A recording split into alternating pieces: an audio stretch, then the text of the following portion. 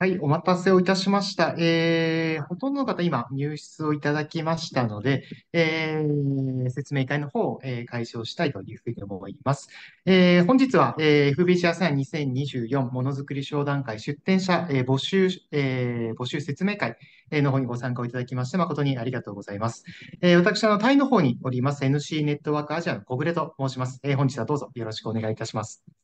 鈴木さん、簡単にご挨はい。拶だけお願いできますか？はい。えー NC ネットワークベトナムの鈴木と申します。えー今日はありがとうございます。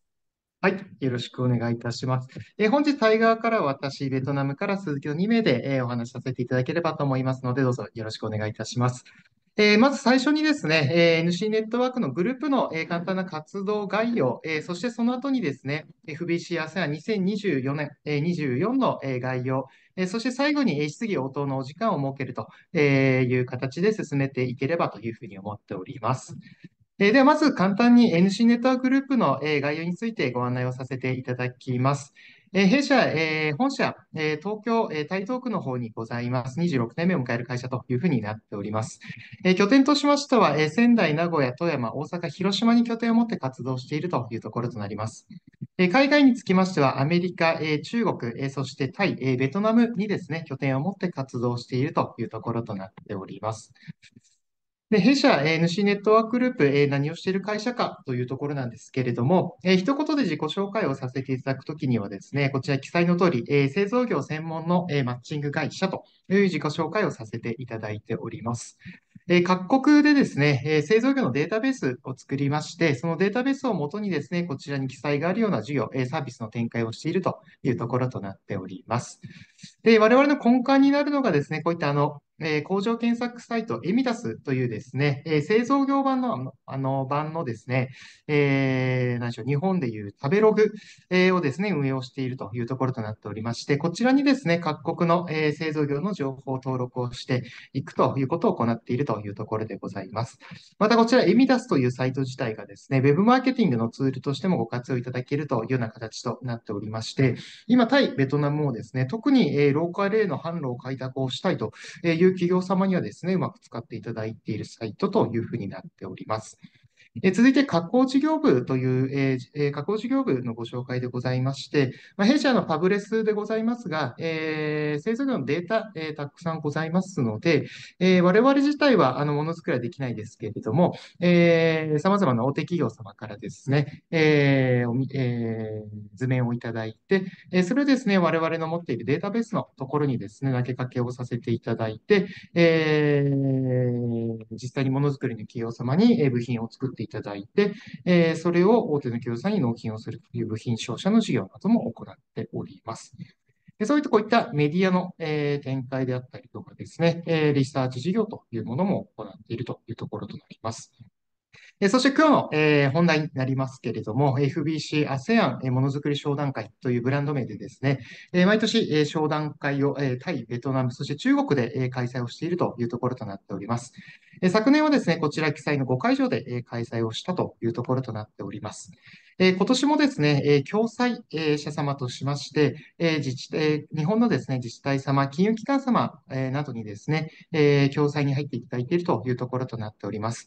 えこういった共済のですね、金融機関さん、自治体さん経由でえ出店のお申し込みをいただきますと、え割引、え出店料金の割引がなるというところとなりますので、え皆様のですね、お取引がある、え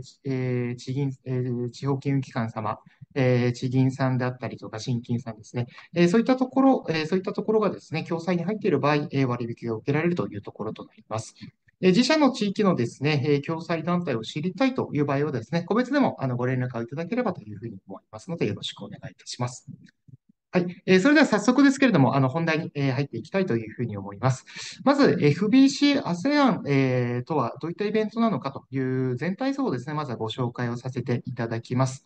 まずは FBC ASEAN、えーですけれども、まあ、特徴といたしましては、まずはあの製造業に特化をした、えー展示商談会というところとなっております。えー特にベトナムについてはですね、製造業、えーまあ、生産材のメーカーさんだけではなくてですね、え製造業が集まる、え商談会プラットフォームという意味合いでいきますと、ベトナムでは、えー最え多分ナンバーワンの、え規模で開催をしているというような、えところとなっております。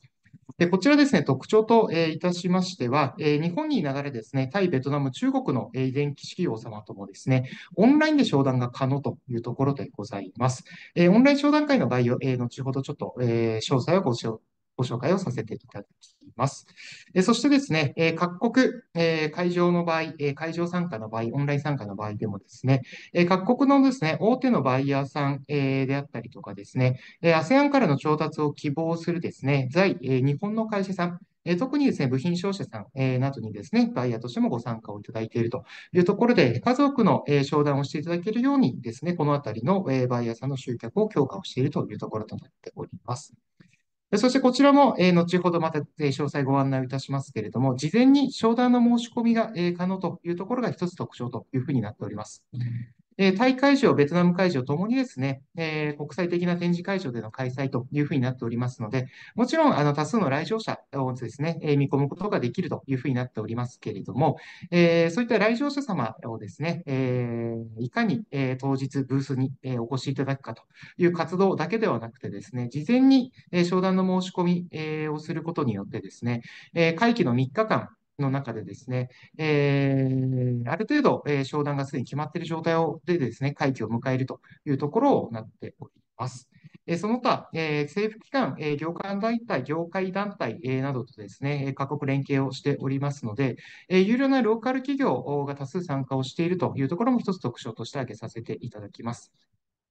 え特に、まあ、昨今のタイ、ベトナムの状、まあ、特にタイ側ですね、えーでいきますと、やはり日系企業同士のえお取引だけではなくてですね、タイローカル企業、えベトナムローカル企業にですね、入っていきたいというご相談非常に多くいただいております。えそういった皆様のニーズに対応するためにですね、えー各国のえ政府機関、業界団体えと連携をして、えローカル企業のですね、え集客を図っているというところとなっております。はい。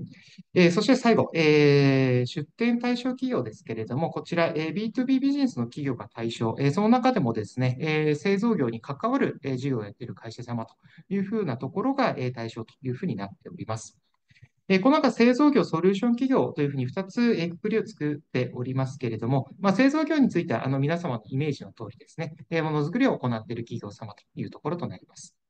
えそしてソリューション企業様、えですけれども、こちらはですね、えものづくりの会社様に対してですね、例えば自社のですね、え IT システムを導入してもらいたい、営業したいであったりとか、え自社のですね、交差機械、えこれをですね、実使っていただきたいというふうにですね、え製造業向けにですね、え製品、サービスの提供している企業様をですね、ソリューション企業様というふうにまとめて呼ばせていただいております。こういったですね、製造業関連、に関わる企業様というのはですね、すべて出展の対象というふうになっております。ぜひですね、ご検討いただければと思いますが、自社がですね、えーこの対象になっているのかどうなのか、ちょっと判断がつかない場合はですね、事務局の方に個別でご連えーご相談をいただければというふうに思っております。はい。えー、FC ASEAN の特徴として先ほど事前マッチングを行うというところを、えーご紹介をさせていただきました。えーそちらの詳細をですね、ここ、え少しご説明をさせていただきたいというふうに思います。え各会場ですね、え1日あたり最大、え10件まで、え個別の商談を、え事前の商談申し込みを通じたですね、え商談のセットが可能というふうになっております。で、こちらの、え商談、事前の商談申し込みですけれども、専用のウェブサイトをご用意しております。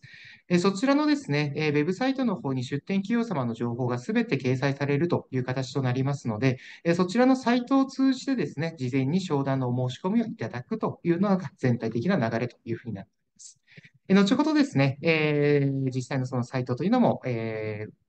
お見せをさせていただければというふうに思っております。はい、過去の実績、えー2年度分ですね、少しご紹介をさせていただきます。えー2022年度につきましては、タイは、パタヤ会場のみでの開催、そしてベトナムはハノイ会場での開催というところで、行っておりました。そして2023年昨年度はですね、1年間で5回以上を使ってですね、開催をしたというところとなっております。バンコク会場から始まりですね、ホーチミン、ハノイ、パタヤ、オンライン商談、オンライン会場という5会場を設けております。今年についてはですね、バンコク、ハノイ、オンラインのサイン会場のみというふうになっておりますけれども、引き続きですね、来年度以降に向けてですね、ホーチミン会場などの開催についても検討していきたいというふうに思っております。はい、こちらの細かい数字などは、また資料などお送りをさせていただきますので、お手元でご確認いただければというふうに思います。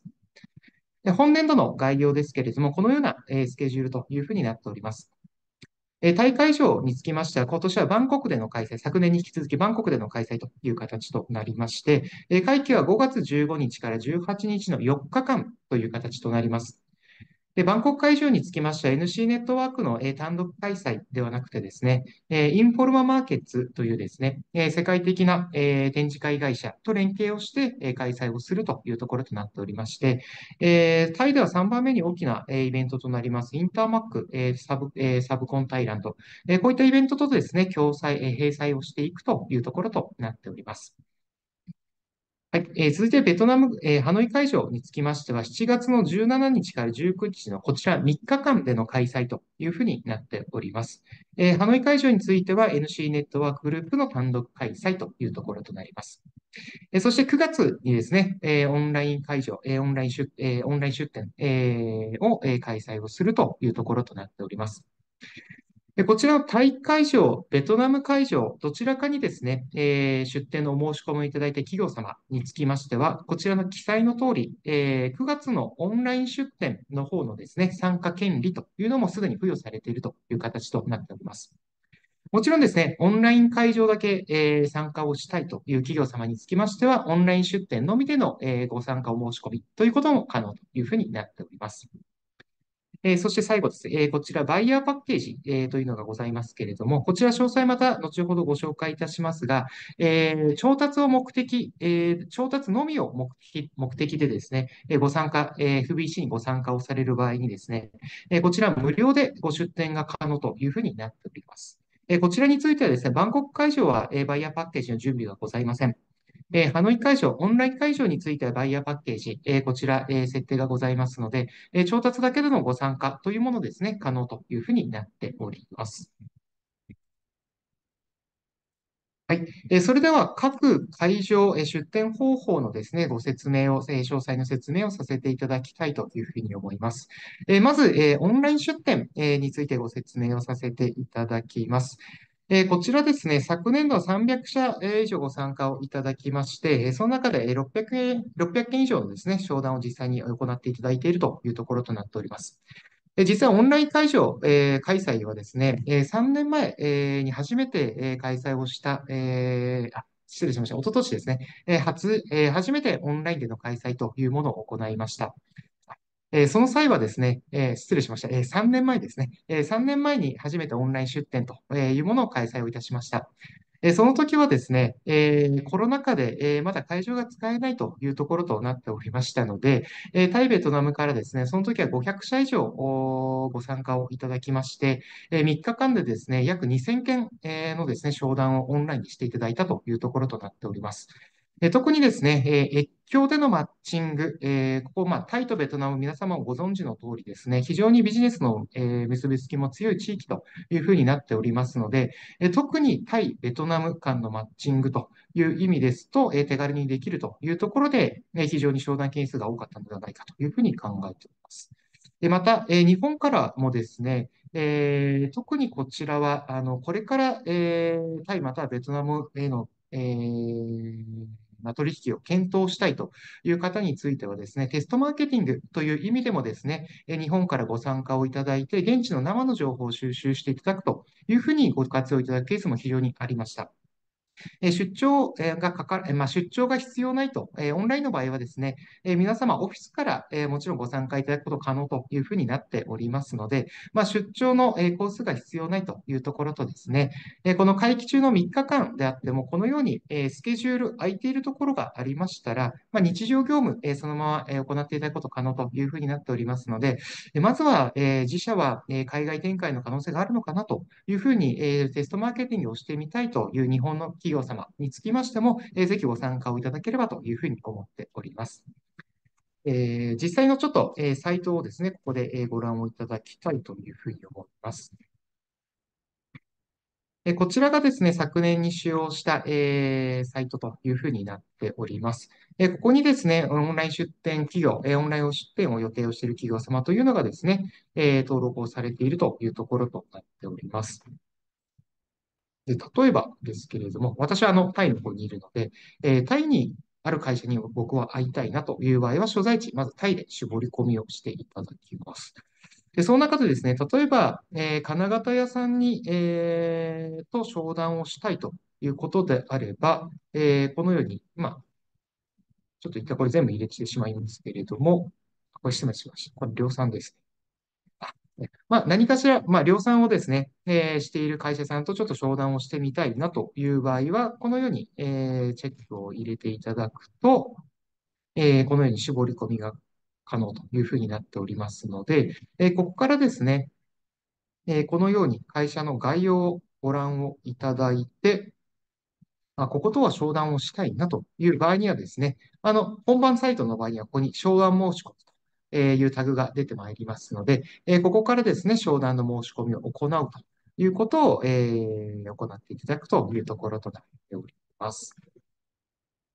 この中にですね、バイヤーさんの情報なども、え入っておりますので、えそういったバイヤー情報から狙い撃ちをして、え商談の申し込みをするということももちろん可というふうになっております。で、こちらの、えオンライン商談会、えーですけれども、え出店費用が、えこちらの記載の通りというふうになっております。先ほどご説明をいたしました共済者経由になりますと、えこちら、え料金の割引がこのように発生をするというところとなっております。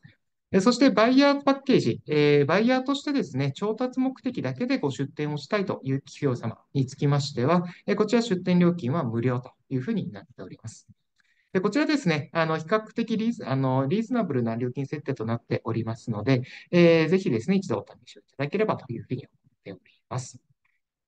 はい、えー、続いて、えー、タイ・バンコク会場の詳細をご案内をさせていただきます。え、先ほど、え少しご紹介をさせていただきましたが、えタイ会場につきましては、えー、NC ネットワークグループの単独主催ではなくてですね、えインフォルマンマーケッツ、えタイサブコン協会、えそしてタイ投信会 BOI、えこういった、え組織と一緒にですね、運営をすると、え全体の、えこちらのイベントを運営をするという形となっております。閉鎖をするですね、このインターマックというイベントでございますが、えー、タイで行きますと製造業関係のイベントでは3番目に大きいイベントというふうになっております。昨年の、えー、実績でいきますと、大体4万人超えのですね、来場者が来るイベントというふうになっておりまして、今年については5万人以上の来場者というものを見込んでいるというところとなっております。えー、そしてですね、もう一つの特徴といたしまして、こちら50社以上の大手バイヤーへ商談申し込みが可能というふうになっております。でこちらですね、ちょっと文字細かいので少し見にくいかもしれないですけれども、共済に、えー、入って、あ、失礼します。閉鎖のに入っていただいております BOY 対投資委員会を通じまして、え主に、え在体のですね、え大手企業様に、えバイヤーとして、え出店をして、このイベントに出店をいただいております。え大体全体のですね、8割5分ぐらいが在体の企業様、えかなと、えバイヤーの方ですね、え85%ぐらいが在体の企業様かなというふうに思うんですけれども、えそれ以外にでもですね、インドからインドネシアから中国からなどですね、え海外からもバイヤー様がですね、誘致されているというところとなっております。昨年度につきましては、在体のえ日系のですね、自動車メーカー様については、すべてえバイヤーとしてご参加をいただいているというところとですね、え皆様ご存知の通り、タイについてはやっぱり EV というのが非常にホットなテーマというふうになっております。今年から、えー、まあ、中華系メーカーの BYD であったりとかですね、グレートウォール、えーこういったところが、えータイでの製造開始というところとなっておりますので、えーそういった、えー中華系のですね、EV メーカー、えーについても3社、えー昨年ご出展をいただいたというところとなっております。え結構やっぱサプライを積極的に探していらっしゃるというところでですね、FBC の、え出店企業様も実際に、え BYD の方とお話をしたというふうな報告を受けているというところになっております。で全体的にですね、やはりタイというマーケット柄ですね、自動車関連のバイヤーさんがですね、過半数を占めるというところとなっておりますが、それ以外の業界につきましても様々な企業様出ておりますので、ぜひこのあたりはあの楽しみにしていただければなというふうに思っております。はい。えーそしてですね、えーもう一つの閉鎖先であります、えータイサブコン協会、えーこちらにはですね、えー100社以上のですね、タイローカル企業がえー出展をするというところとなっております。えーこちら出展している企業、えーロえーローカルの企業ですけれども、えー規模感でいきますと、えーティア1、えーまあ、自動車でいうティア1層から、えーティア3、ティア4ぐらいまでですね、えー結構まんべんなくご出展をしているようなイメージというふうになっております。えこちらのですね、タイサブコンブースの方に出展をしている対ローカル企業に対しても、え商談の申し込み、事前の商談の申し込み可能というふうになっておりますので、えぜひですね、この機会を通じて、え大手企業への商談申し込み、えタイローカルへの商談申し込みをえしていただければというふうに考えております。はい、えー出店料金ですけれども、えーこちらの記載の通りというふうになっております。えーバンコク会場につきましては、えーブースのサイズ2種類、えー準備をしております。えー一つが6平米のブース、えーもう一つが少しえー小さめの4平米のベースと、えーブースというふうになっております。えー皆様のですね、えーまあ、展示される、えー品、えーそれに合わせてですね、ブースのサイズなどもご判断をいただければというふうに思っております。はい、えーバンコク会場のご案内、こちら、えー最後になります。えー先ほどですね、え商談会の会期前に事前の商談の申し込みが可能というふうにご説明をさせていただきました。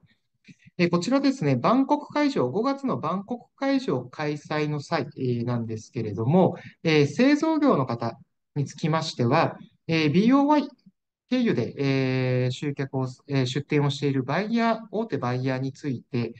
えーにに対して商談の申し込みは可能というふうになっておりますが、えソリューション企業様につきましては、え BOI 経由で出店をされる大手バイヤーへの、え商談申し込みは不可というようなレギュレーションというふうになっておりますので、こちらご理解をいただければというふうに思います。ただしですね、9月に開催をする、えーオンライン開催時、えーにつきましては、製造業の企業様、えーソリューション企業の企業様、えどちらもですね、えバイヤー企業に対して商談申し込みは可能というふうになっておりますので、ご安心ください。はい。えー以上で、えはい、の説明をさせていただきましたので、え続いて、ベトナム会場の説明、鈴木さんの方からお願いできますでしょうか？はい。えーベトナムですね、えーとまあ、ハノイで行うわけなんですけれども、まあ、7月の17日から19日というところで、今までですね、えーと、ハノイの方、ベトナムの方はですね、2017年から、まあ、このものづくり商談会始めましたけれども、あのー今回大きな違いとしては会場ですね。えーと、今まであのハノイ市内にあるです、あ、ハノイちょっと郊外ですね。にあるあの、えー会場をずっと使ってきたわけなんですけれども、あの ICE というですね、えーとまあ、ハノイのまあ中心街にある、えー会場を使います。まああのえー製造業関連ですと、まあ、例えば、えーベトナムマニファクチャリングエキスポとかですね、あと、えー MTA ハノイとかですね、ああいったあの大きなあの展示会がいつも開催されているような場所となりますので、えーと、そこが今回は大きく違うところという形になります。まあ、あの下のですね、この実績の部分ですけれども、あのー去年ですね、2023年はあの6000人超えの来場者に来ましたけれども、まあ、今までですね、えーと、ものづくり商談会始まって、えーと、初めの頃はですね、大体いつも3000人程度の来場者数でした。で、それがですね、えーと、2022年には、えー5000人を超えて、で、えーと、去年ですね、2023は、えー6000人を超えたというところで、で、また今回ですね、えっと、2024年は、まあ、会場がですね、あの、名の通った場所になりますので、えー来場者数もそれより増えるんじゃないかと、あの、想定をしております。はい。えっと、こちらですね、えっと、ハノイ会場の、え出店料金となります。えー大きく分けてですね、このスタンダードブースとカスタマイズブースっていうのありますけれども、えっと、まあ、スタンダードブースはですね、この左下にあるような、えっと、まあ、よく展示会で見るこのパッケージで、あの含まれているというような体で、え6平米と9平米というようなあの選び方ができます。まあ、あの去年はですね、まあ、に特に日系さんですけど、まあ、ほぼ、あの、皆さん6平米選ばれてたっていうような形です。で、若干ですね、6平米じゃ少しちっちゃいなっていう企業さんが、まあ、2、2ブースですね、申し込んだりとか、そういうケースがありました。で、えっと、この下のカスタマイズブースですけども、これはですね、えっと、よくあの展示会であの造作してですね、あの、ものを見せるみたいな、あの、こういった、あの、なんていうかな、こう、パッケージになってなくてですね、自社でこう、いろいろ造作物を作って出展する企業様向けということなんで、えっと、この料金はですね、まあ、要は、えー平地を買っていただく値段という形になります。で、造作に関しては、あの、各社さん、あのーのご対応でというような形になっております。でですね、えっと、ハノイ会場につきましては、あの、バイヤーパッケージというのが、あの、ありまして、調達目的で、えー出店なされる企業さんは無料で参加できます。はい。でですね、えっと、場所指定オプションっていうのがね、先ほどの料金表でもありましたけれども、えーこの会場ですね、入ってこのひ、えー左側、赤くなってるところが、えー日系、えー外資系企業のエリアとあのしております。えー基本的にですね、あのー場所指定を、あのーする企業さんはですね、あのその時点で空いているブース、あのこれをですね、選んでいただくことが可能です。で、えー場所指定を行わないで通常出店でして、してきた企業さんはですね、あのーこの A エリア、B エリア、C エリア、D エリアの順で、えっと、この番号の若い順にですね、えっと、仮置きしてきます。で、えーもし、えー場所指定の企業が入った場合は、まあ、一つずつずれていくと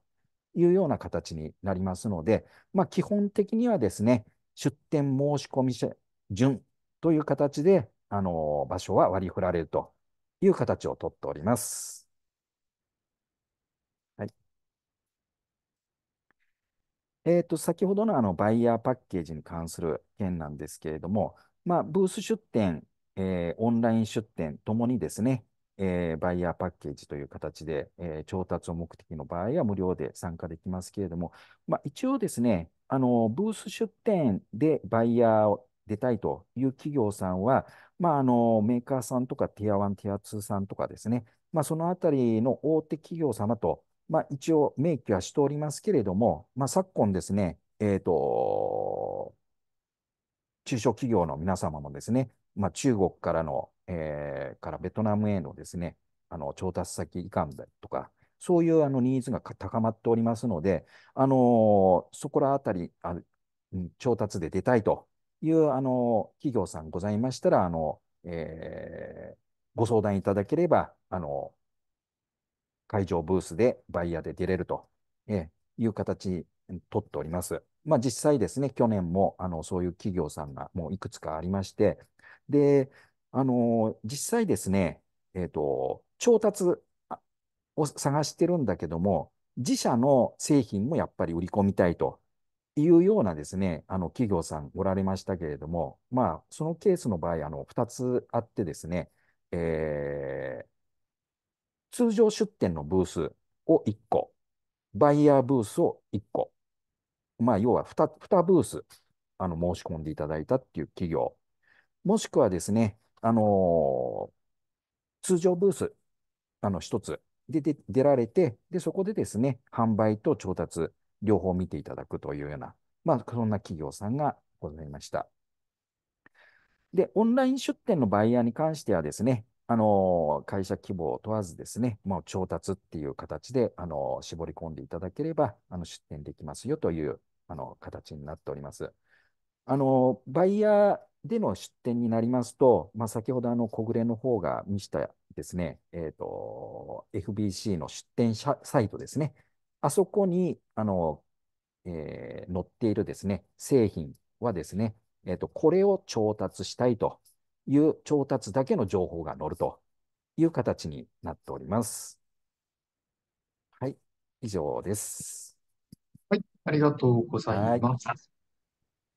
はい、えー、それでは、えー、オプションについてですね、えー、最後、えー、ご設定、ご紹介をさせていただきます。えー、昨年度より、あの、個別フォロ、個別フォローオプション、えー、というオプションを、えー、提供させていただいております。えー、こちらですね、事前にマッチングのお手伝いをさせていただくというのが、えー、趣旨というふうになっております。えー、具体的にどのように進めるかというところですけれども、こちらメニュー1、2、えー、のような形となっております。えまずですね、え、出店企業様、え、に対し、え、についてですね、え事務局の方で、えマッチング担当者、えを一人、え付けさせていただきます。えマッチング担当者ががですね、えこちらの出店企業さんの、えご要望などヒアリングをさせていただいた後に、えロングリストを作成をしてアポイントの取得をしていくというのが全体的な流れというふうになっております。で、今回ですね、えー、まあ、2つこう分かれていますけれども、えー、出店企業様、えー、今年も多分500社様ぐらい、えー、合計でなってくるのかなというふうに思っておりますけれども、えー、その出店企業様の中でですね、えー、こちらの出、えー、この個別フォローオプションを申し込んだ出店企業様の営業対象になるような先というものをですね、事務局の方からリストアップをさせていただくというところとなります。当然ですね、出店企業の情報というのはですね、事務局の方で全て把握をしておりますので、そういった知識を使いながら、知識データを使いながらですね、適切な先というものを絞り込みをさせていただきますというのが一つ目というふうになります。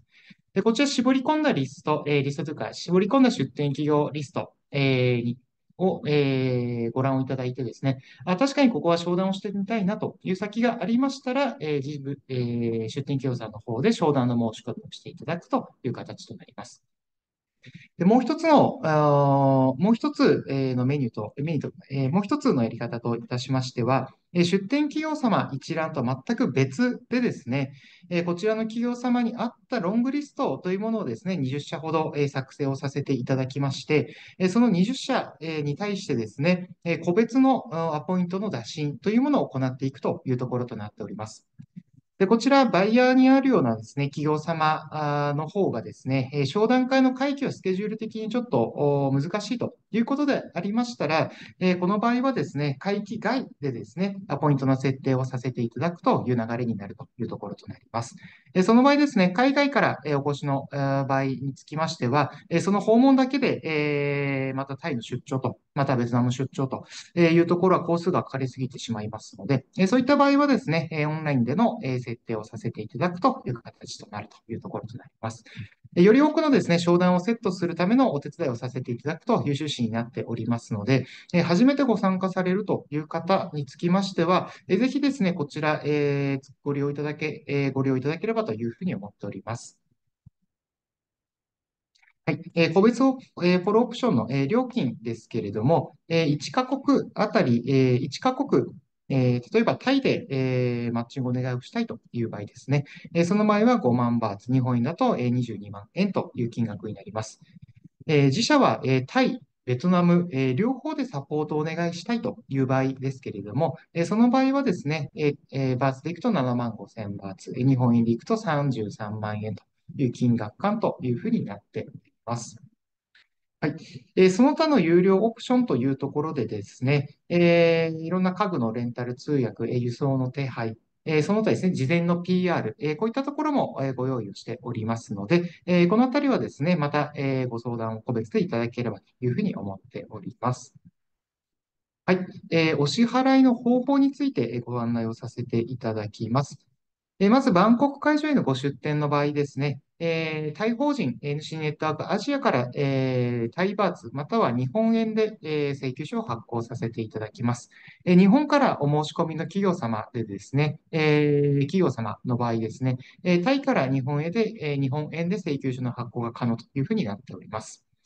え続いて、ハノイ会場の場合はですね、えー、NC ネットワークベトナムより請求書を発行させていただきます。え、こちら記載の、えー、通り、え、ベトナムドン、ドル、え、日本円での支払いが可能というふうになっております。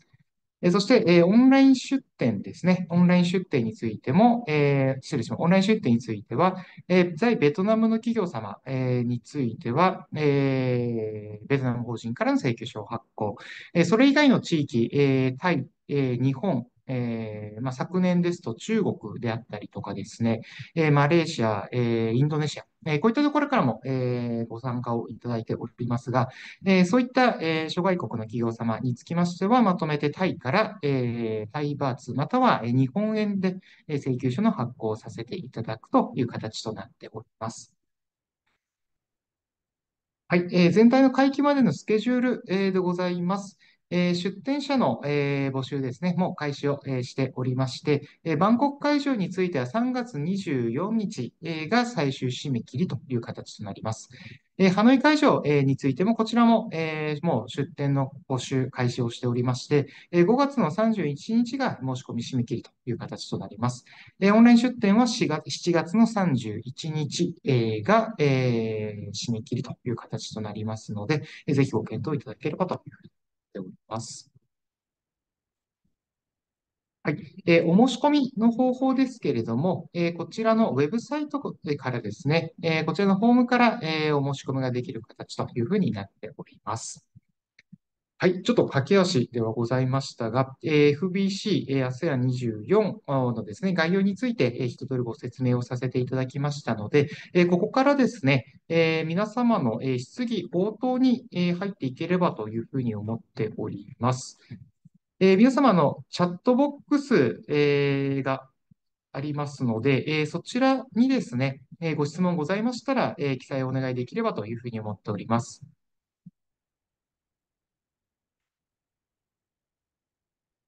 今、えー、アンケートのコストが画面上に上がっているかと思いますけれども、そちら、えー、回答のご協力をいただければ幸いでございます。こちらのアンケートご回答いただくと、あの、ポール消えますので、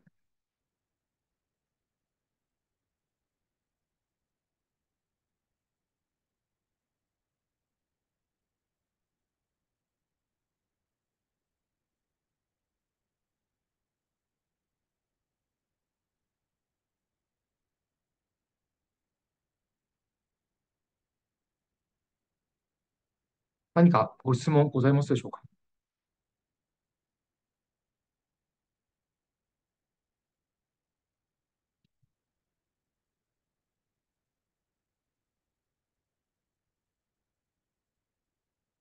鈴木さんの方から何か、あの、言い残したことであれば何かございましたら。そうですね。あの、え、あの、FBC のね、あの、の件について、あの、個別でね、あの、企業さんからあのいくつか問い合わせとかっていうのはやっぱりあの来てるんですけれども、あのー、まあ、去年ね、えーと、ベトナムの、在ベトナムのあの企業さんがあのバンコクの方に出展されてですね、あのー、ヨーロッパのあの企業とこうマッチングできて、今それが動いてる最中だなんていうね、話、まあそういった中でですね、い、いろいろこういった情報が入ってきてるんですけれども、あの、まあね、バンコクの場合はやはりあの規模感もね、大きくて、あの、すごくこう国際色豊かっていう部分がね、まあ、あの、非常に、あの、良かったと。えー、それで実際、あの、なんていうかな、そういったあのお仕事につながったっていうところで、またぜひともね、今年参加したいなんていう企業さんが、あの、最近ちょっとそういうので話したとかね、あったんで、で、またですね、あの、ベトナム企業の方も、あの、ローカル企業ですね。まあ、こう、タイとのこう、つながりとかね、こう、あの、ローカル企業さん、あのまあ、もちろんですね、ハノイの方に出店して、その来場者にとか、あの同じ出店者さんですね、まあ、そことのマッチングはしていきたいんだけれども、あのタイのあたりもですね、こう、攻めていきたいというところで、あの割とね、こう、ローカル企業さん、あの積極的だなっていうお話をね、よく聞くなって、ね、そんなとこがあるんで、まあ、ぜひともですね、あの、皆さん、ふるってご参加いただければ嬉しいです。ありがとうございます。藤さん、あの、ベトナムの会場、えー来場者が8000名予定という形にうん。なってたと思うんですけれども、はい。あの、ベトナムで他の大きめのうん、イベントだと、大。体どのくらいの来場者数なのか、はい。ご参考までに共有お願いできますでしょうか？はい。えっと、まあ、ベトナムではだいたい、えー、1万人をするとね、えっと、大きなイベントだっていう感覚で、まあ、例えば、えーメタレックスベトナムなんかだと、えー、1万2、3000人ぐらいになるのかな、3日間ぐらいでね。えー、だいたいだから1万人超えてくると、あの非常に大きなあの会だというよううん。規模感になりますかね。ありがとうございます。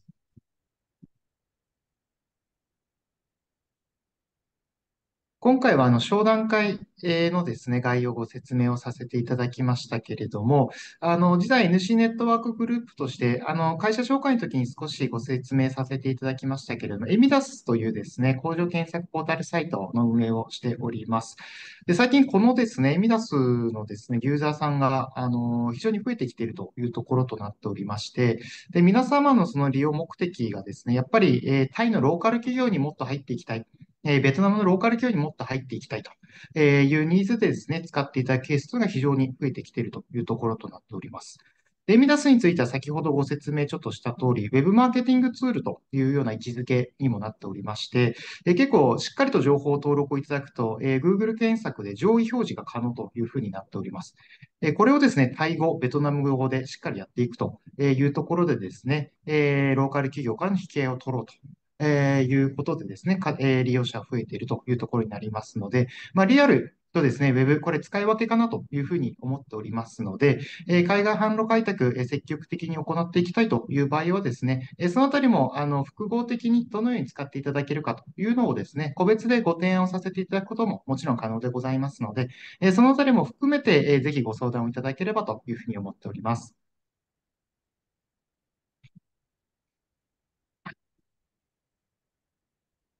それでは、えー説明会は以上とさせていただければというふうに思いますので、えーまた何かですね、ご不明な点、えーご相談事項などございましたら、お気軽にですね、事務局の方にご連絡をいただければというふうに思っております。え両国ですね、えータイえローカルスタッフのですね、営業マンももちろんおりますので、えーローカルスタッフからのえ対応というのももちろん可能というふうになっております。はい。それでは、えー本日は以上とさせていただければと思います。本日は皆様、えー説明会の方ご参加をいただきまして誠にありがとうございました。えーぜひご検討のほどよろしくお願いいたします。ありがとうございました。ありがとうございました。失礼いたします。